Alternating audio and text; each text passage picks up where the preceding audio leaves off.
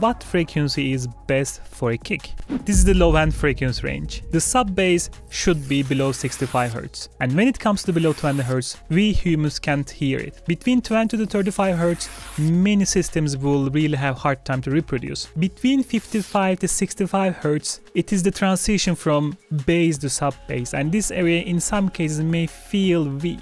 This left us only between 35 Hz to 55 Hz, so our kick and sub bass should sit around here. And if we translate this into the notes, the sweet spot is really E, F, G, and A. The main idea here is taking the same patch, altering the envelopes, altering the unison, and getting a bit smoother sound. Filter is different, envelope is different, more noise as well. It's like, uh, uh. Why do we do this? This gives this really nice groove, like, uh, then, da, da, uh, then, da, da, uh. Try to hear it. And if you listen together now, see how this adds up to the groove.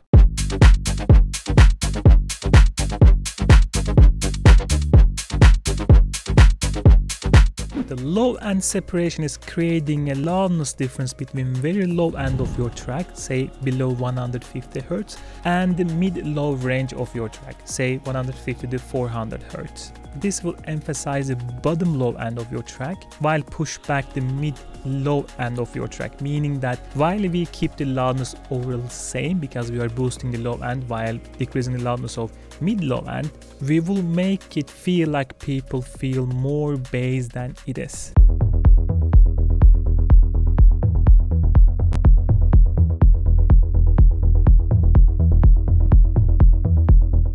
That's a thing that I've noticed online a lot. Oh, EDM pro tip. Tune your kick.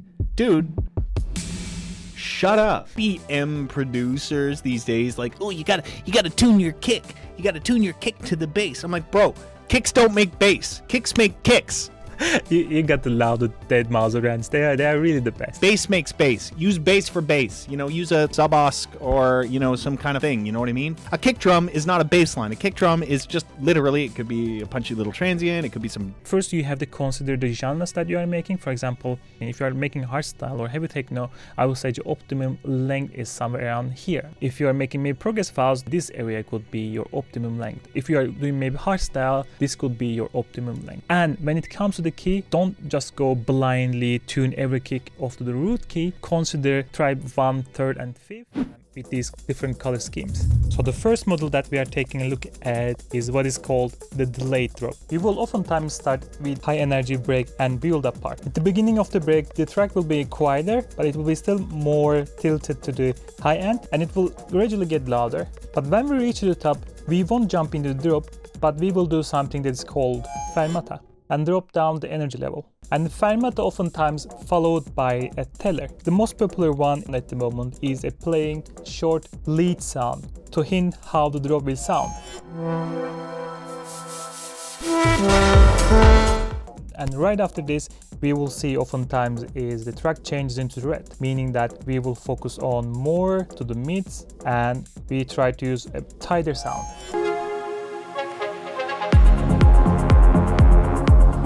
The, the most energetic part of the drop comes way later than the original drop that we anticipated.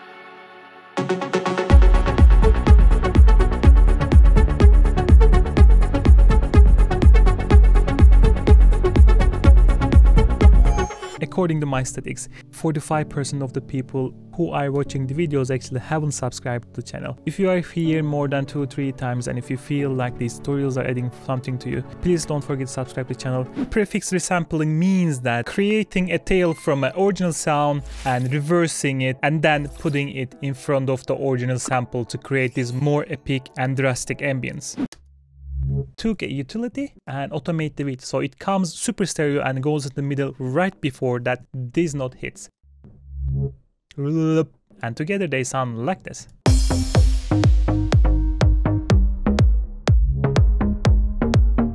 Now comes the fun part. If you want to even capture the filter behavior of Sub 37, I think this is good. Now we're gonna capture this sound.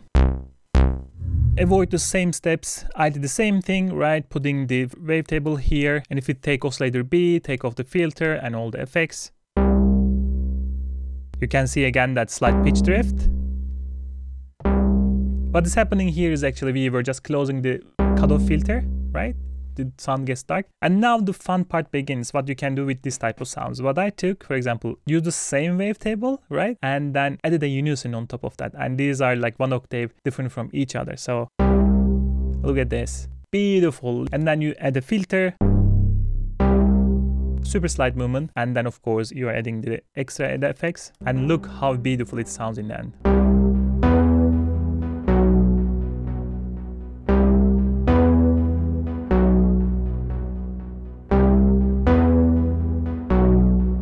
All these unlock juiciness together with this modern synth sound, color panning. Let's say we would like to pan this shaker.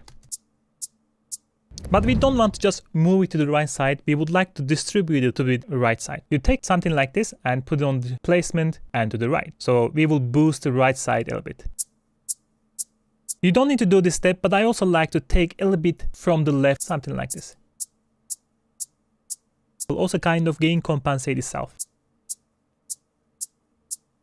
without. Copy the last snare. If you ever play the drums, if you take the stick, hit and roll slowly on the snare drum, you will hear this friction sound together with the hit sound. So a sound in between this snare, first one, a hit, and then the friction to decrease the attack so there's not the initial hit. And then finally one more hit. And I can even decrease the initial attack a bit more so that it's softer metal around the snare, there should be a fast echo in the snare itself. And for that part, you should be using very fast delay. So in this case, I'm using just 34 milliseconds delay with a short feedback. I will make the sound a bit more frictionless by adding a vocoder. Playing with the sound levels, we have something like this. And let's test how much difference it makes.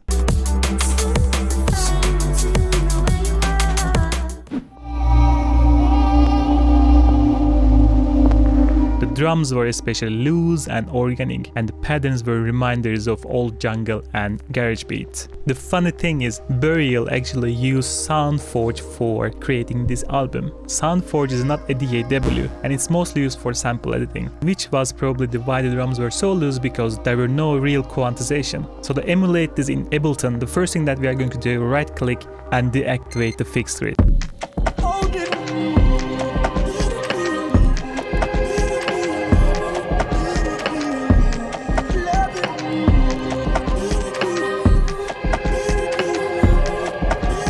Wenn du ein Sechzehntel lässt, das hört sich so krass mechanisch an. Also klar, das ist halt Techno-Musik, aber dass es halt irgendwie so komplett gesetzt ist. But you can do Control U and then you can actually move things around a little bit or you can actually also apply a groove afterwards. So let's say we will apply this like the Boris likes it. So the first one is polyrhythm. So on top we have the right, there's a one bar loop and the division is made into three. So we are hearing three right hits. On the bottom, again we have the same length, but this time we are having two hits. And because of that, we have two different rhythms hitting at different times, hence the name polyrhythms. For the polymeter, on top we have a loop for a bar, 4 hits. On the bottom, we have a rhythm that has a length of 1.5 bar, 6 hits. In polymeters, the length is this time different, but the rhythm is the same, the divisions are same, they always hit the same time. So if we sum up, in polyrhythms, we have two different rhythms, the same length, but the division is different. In the polymeters, we have the same rhythm, divisions are the same, but the lengths are different. Big amateur mistake, compress everything. I see compression everywhere in Amateur's track. Just don't use the compression if you are not really aware of what it's doing. Also Kompressoren benutze ich eigentlich nur beim Mastering, weder beim Mixing noch beim Lied selber. Das habe ich über die Jahre gelernt, weil da machst du einfach, finde ich, viel zu viel kaputt. The tree version of it. just like that. Every hit will be slightly different. Can do it like this, like you can take like a tail like this. And the tail can be a bit transposing this one a bit. Yeah, and maybe volume this up slightly. We can EQ it depending on how we feel with the other stuff. Something like this, right? We're gonna push this one to the left. So to the left and to the right. And in between one, we can make it a bit random. Yeah. First, I am having this FM from B, and on the B part, having something the alternative waveform. So I can bend, see how this affects the sound. And having these two aggressive envelope on top of that, the second envelope goes for the cutoff. And we are having this really resonant filter so that it's doesn't roll up. Extreme distortion on it. We have another filter so that we apply the same envelope here to get rid of all the super highs. Otherwise it will be like this. you don't want that.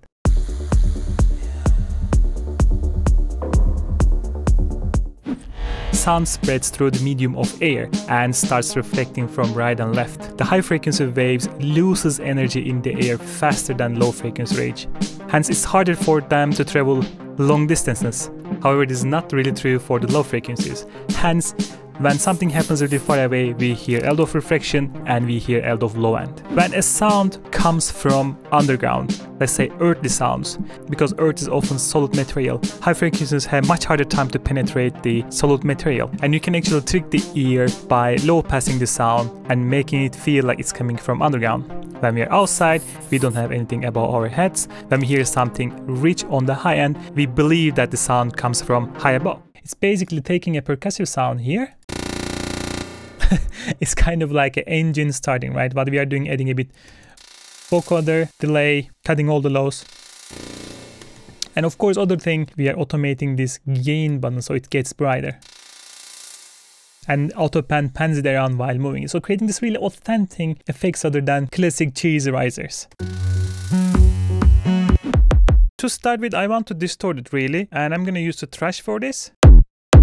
Here um, we go. I'm gonna put an EQ. I feel like it's distorting too much those highs. I'm gonna make a sub bass to just to balance these two together. I just layered the F so that we will have the driving F sound and I'm gonna go for my pigments. So what I'm going to do, go here together with the kick. Just randomly pick a sample, a loop, any loop, doesn't matter which loop that you pick. I'm gonna tune it down all the way. So you can definitely hear that I'm really interested on these super lows. Here you can see a bit more and such in the kick. So this is just automation of that sidechain amount or threshold in this case. It gives this kind of nice interesting contrast together with the kick. This time I have this sample kind of white noise and I just took the high end of this one. So it feels like we are in the warehouse. It gives just a bit air to the sound, makes the bass somehow feel bigger than it is, having this really white on top. One more time. This time I found the sample, like deep bass sound and just move it around here. So it creates kind of machine sound and together again. And of course a bit EQ here.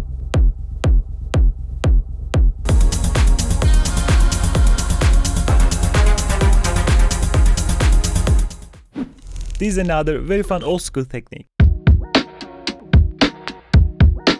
little bit old school vocals would work really nice on this. Smoke up, that's in the blem. Free up the guys, then dip out. The Take a listen here. that's in the blem. That's in the blem. Put a sampler and then you put this sample inside this. Cup, that's in the Go to pitch, ac- activate the pitch envelope. The first thing that we're gonna do, the amount to 12. You can go any number, it really doesn't matter because it's not really tonal sound. cup, that's in the blem. Cup, that's in the It's like initial "wah" sound. cup, that's in But we will give this an attack so to make it a bit more pronounced. cup, that's in the cup, that, cup, that's in the blem. But now I want this one to go down like that and bring down the sustain. That's in the blem. That's in the. But I don't want this to super obvious, so I'm gonna give a bit more decay. That's in the. So, uh, uh, uh, so that we can feel that really vinyl stop effect. That's in the. And then a bit release. That's in the. You can also change the curve style, like here, if you increase it. That's in the. Something like this, right? If, if you don't want to have it really dark. that's in the. This is like the final piece that you can do. That's in the.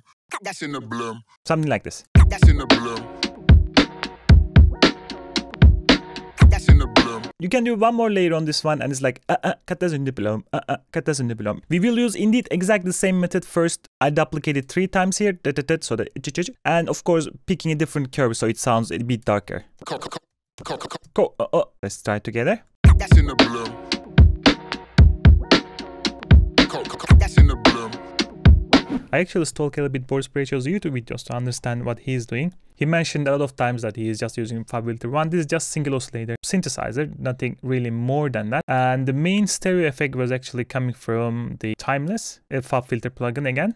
And there was just chorus effect in the sound or chorus-like effect, uh, I would say basically. And as you can see, the low end is actually cut. So the super lows below 56 Hz is still mono. And on top of that, I just used the bass mono to make it everything mono below 64 so that the super subs are mono, but the rest is I'm giving bit room to be stereo. So it sounds like this.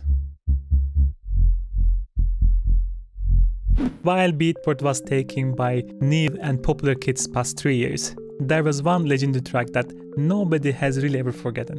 And the name of the track is actually House Music Anthem by Marshall Jefferson. And the story goes like this. Despite pressing the track early, Move Your Body was not released by Trax Records because label owner Larry Sherman didn't like the track and he believed that it is not really house music. And this led to Marshall Jefferson to add the house music anthem to the title of the track rather than calling it Move Your Body. And it was again that time the British journalists came to the Chicago to take a look at this blooming house music movement in Chicago. And according to the story, they visited five different clubs in Chicago, and every one of them was playing House Music Anthem or the Your Body at the time. And the crowd reaction was extremely positive to the track, and everybody was going crazy.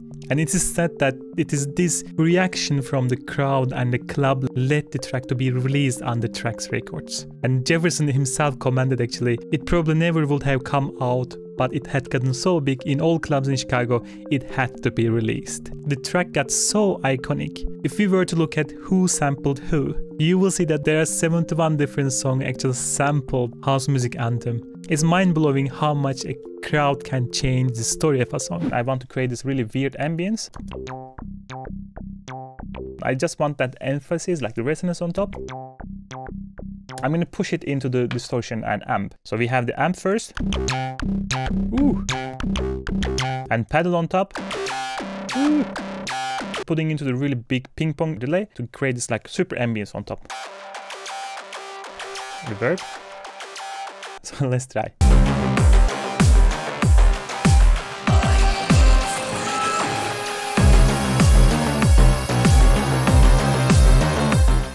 Regular compression is simple. When you go above the threshold, we compress the signal and alter the shape of the attack and the decay. But it is not always what we want actually. On parallel drum compression, we use extreme settings on compression so that we really bring down the volume levels. And because settings are fast and extreme, we will have this, this initial super spiky attack left. And because this is a parallel compression, we actually sum up the original signal on top of the parallel signal, creating this really bulky fat signal.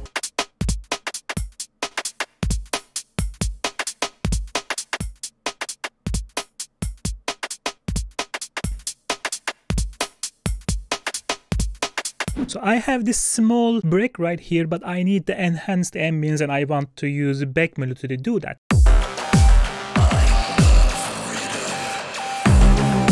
Remember, back melody, we don't go for too much contour, we don't need something super complicated. The main focus is enhancing the ambience. Isn't this beautiful? So if we play,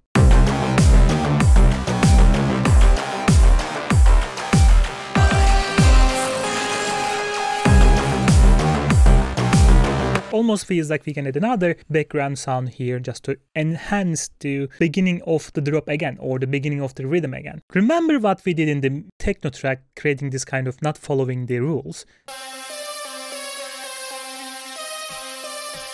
It was something like this and we're gonna use the same idea but this time we go something a bit less dramatic.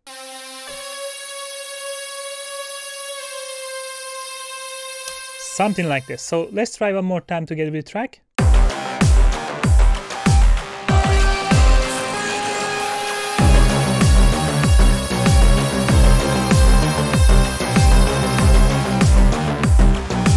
Isn't that just so beautiful? Talking about using returns and using parallel chains. The other thing worth mentioning, I guess, is like on the drums especially. I'll use two sends actually. I'll use like a room send, and it's it's just a, like an Ableton reverb, like two and a half seconds, and the low end's taken out, and it's sidechained a bit. It's pretty simple. But I think if you send everything to one room, it sounds like the music's all kind of together rather than like putting individual reverbs on each channel. And then the other send that I usually use is like a bit of distortion and compression. So the drums are being sent to like a tube warmer kind of that's like driving it a bit and distorting and then compressing it. Essentially parallel compression just done as a send. And it makes a really, really big difference, especially with getting your track to be like sort of competitive on a loudness level, like without it. And then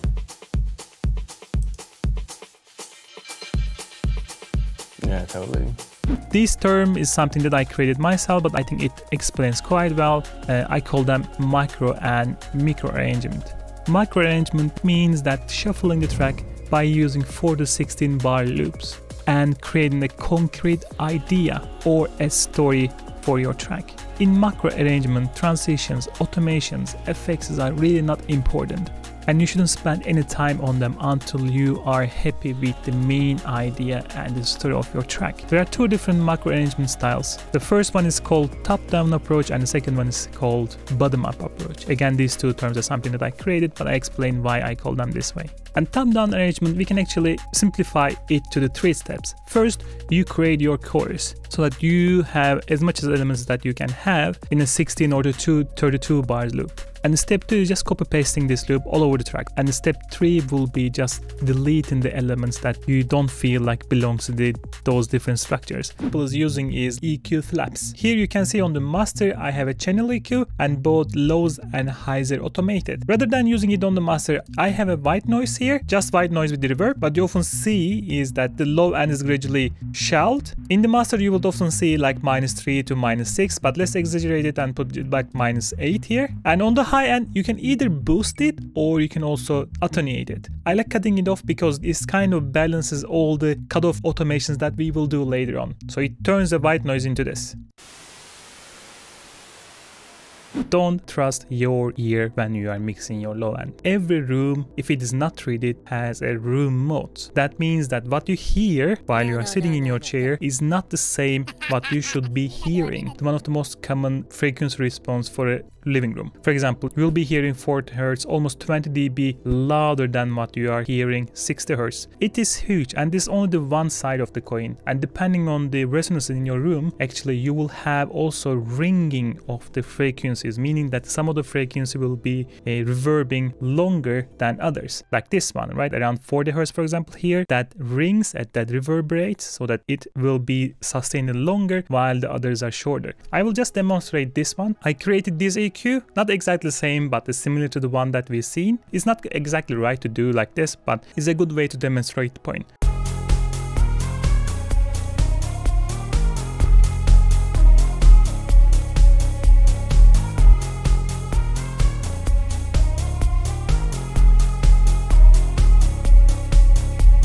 Overtones and undertones. Let's play a G on piano. These are overtones and these are the undertones. And overtones and undertones actually define the timbre of an instrument and they are really important. However, there's one mind-blowing fact about the overtones. I have a simple sawtooth. Now take a look at our overtones. Overtones are produced on each integer multiplier. So 100, 200, 300, we can see it there. If we put this one octave up now, so G2, now we have the overtones 200, 400, 600. Because of this multiplication, lower octaves would have tighter harmonies because like 100, 200, 300, 400. That is why when you put OTT on lower pitch sound, OTT pushes those higher harmonics up and they tend to sound richer compared to the higher harmonics mind blowing, isn't it? When you're thinking about your stereo field, you need to think about the triangle, right? Here you should be mono and then go slightly enhancing more, less mono, less mono, and quite a bit stereo. Because of that synth coming in, bleeding in, we are actually having this a bit stereo field here. I'm gonna bring this down. And then I'm gonna go to second.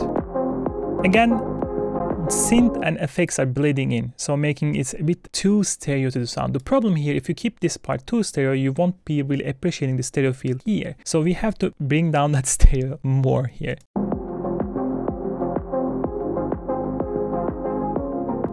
And then we go here.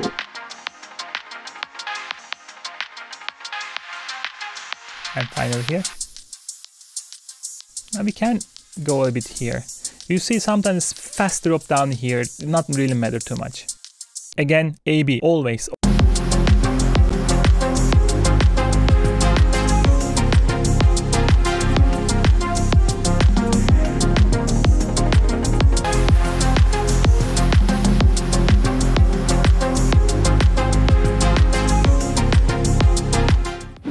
Thing is the ceiling note. The ceiling note is the highest note on the arpeggio. This is the floor note and this is of course the lowest note in the arpeggio. The central note on the other hand is the note that the other things gravitate towards. And one last thing is where the arpeggio is gravitating towards. And if you take a look at this specific arpeggio, we have upper focus at the first half and the lower focus at the second half.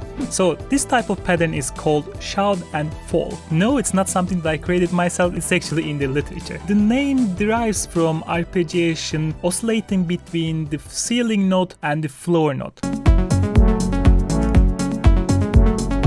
So we are shouting here and we are falling down. We are shouting, we are falling down. To make this even more analog sounding, we're gonna activate the noise and then we're gonna go to cutoff and modulation source and then we're gonna pick that noise. So pay attention how the filter gets unstable and creates filter noise when I increase this.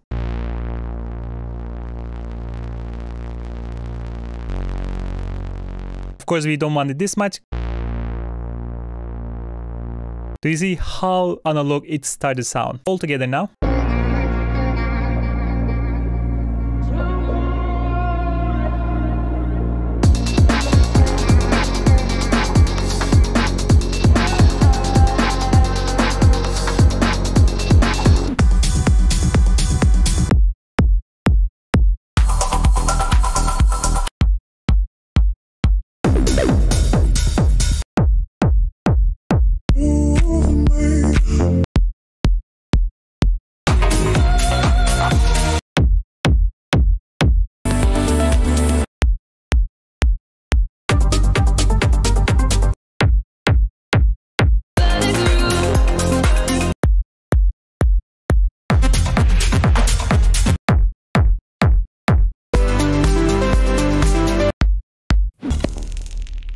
Even though you make a plucky bass sound, you have to sustain your sub end, because we feel the sub bass and the short envelopes can't make us feel it. Which one is easier to hear?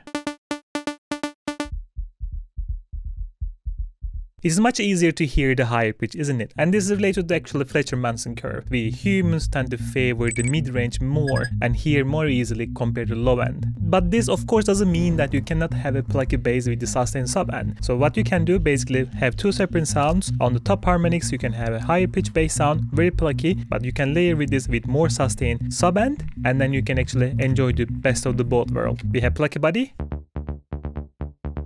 under this more sustained sub bass. We don't even realize the sub is actually really sustained. Because our brain focuses on higher pitch sound. But if you want to avoid layers, there's one more way to do this. When you're creating your bass sound, separate your filter envelope and your volume envelope. In Serum, really straightforward. The first envelope is always the volume envelope. So what you can do, have sustain on the volume envelope itself, but the filter envelope, you can go very plucky. It means that the filter is moving very fast, but the volume is sustained. And this leads to this beautiful sound.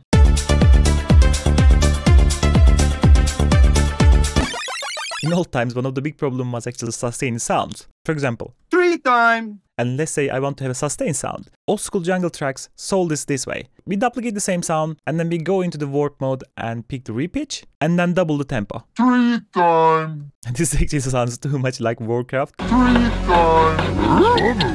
I cannot unhear it. and then we do the same thing again one more time. And then you add them together and a bit effects on top. And if you still don't remember how it was, it was something like this.